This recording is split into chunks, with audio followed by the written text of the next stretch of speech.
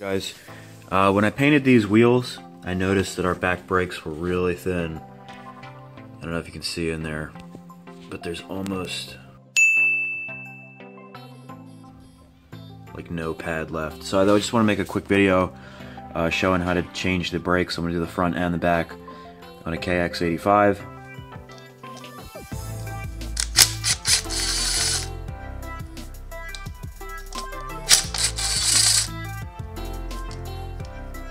Once we get our caliper guard off, um, we're just to uh, loosen up our brake slides. Are these two pins right here. So you get an Allen uh, screw, and you can you can pull them out or you can just loosen them. But you want to do it before you take out um, your main bolts here and here, because these might not you might not be able to get these out if you're holding the caliper in your hand. So use the leverage of having it bolted to the bike, break these loose, and then take these ones off.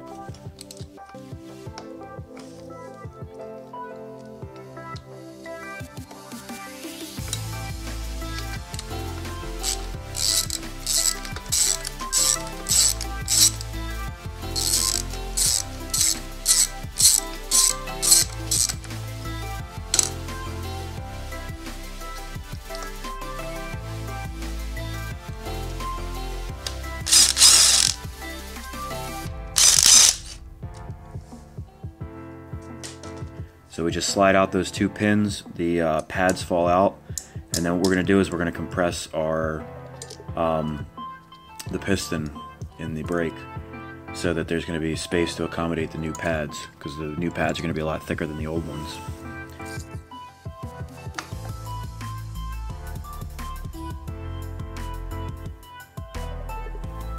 Now don't throw out your old pads just yet. There's going to be this clip on the back of your um, your pad. That's gonna have to go on your new or um, it's gonna go on your new pads.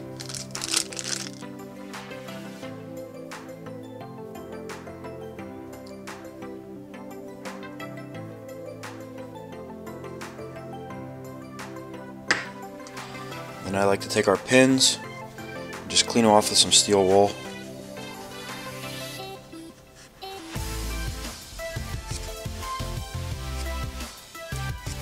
These are all pitted and messed up, you might want to replace them.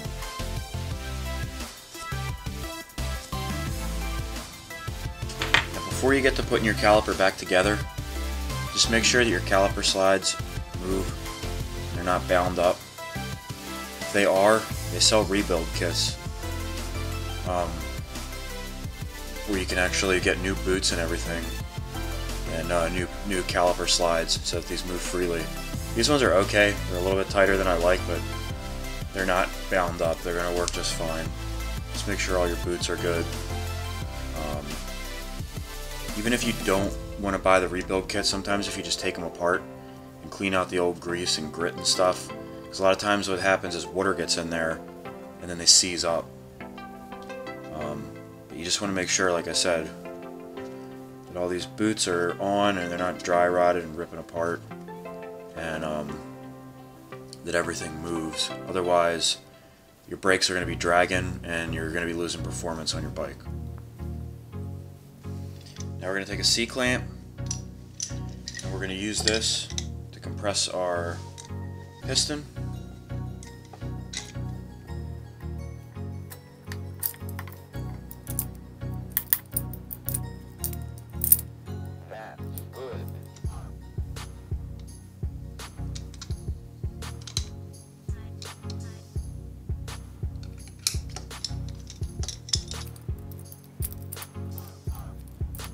Now we'll have plenty of room for our new pads.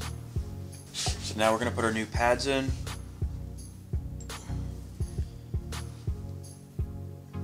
Take them like so. The metal clip goes towards the piston. You can look in your holes here and line up the brakes. And what you do is you push up on them with your thumb because there's a spring up there that pushes the brakes down.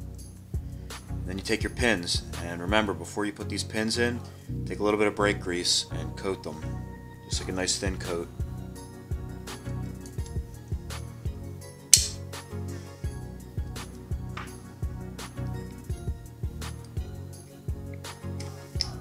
One.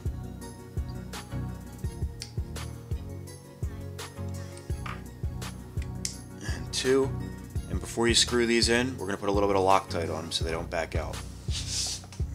What we're going to use is the blue Loctite.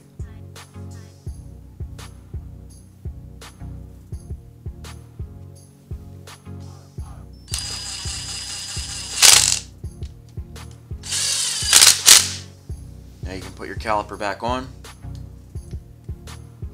Open these up as much as you can so you can fit your disc in there.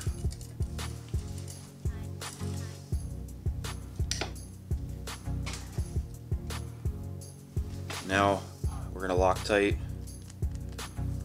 our caliper bolts.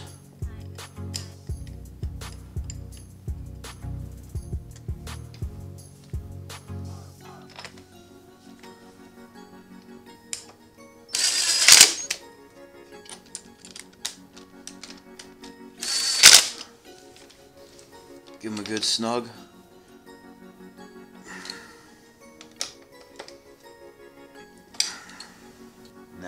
Caliper guard back on.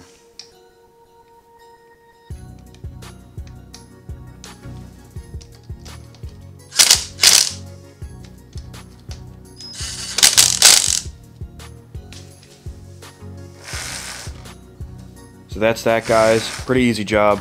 Um, just don't forget to use your blue Loctite on your part on your uh, bolts, and uh, make sure that your caliper slides are smooth before you put them back on. And don't forget to bleed your brakes as well. I'll probably have another video on that. Um, but yeah, guys, that's all.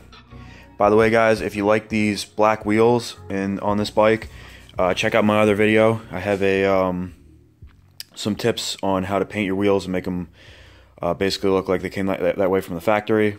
Uh, please comment, like, and subscribe, guys. Appreciate you all watching. I'll see you in the next video.